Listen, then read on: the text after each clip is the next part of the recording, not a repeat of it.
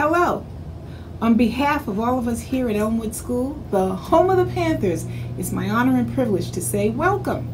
I'm Deirdre Garnett, the principal, and this year is off to a fast-paced start. We are super excited to have hit the ground running thus far, and I am looking forward to a year like no other. One in which the vision of academic success is set and attained where all stakeholders, the principal, teachers, parents, and students, we all take pride in the positive impact that a goal-oriented school like Elmwood can make. As 21st century demands and complexities of teaching children increase, it becomes more evident that we all need to work together to ensure that our children reach their potential.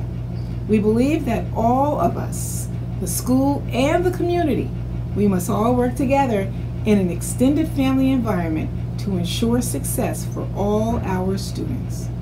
We believe it is everyone's responsibility to empower children with the creative, intellectual, and decision-making skills necessary for them to become academically, socially, and emotionally successful and responsible.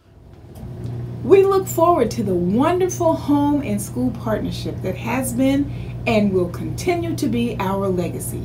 So let's get it started, Elmwood family. Go Panthers!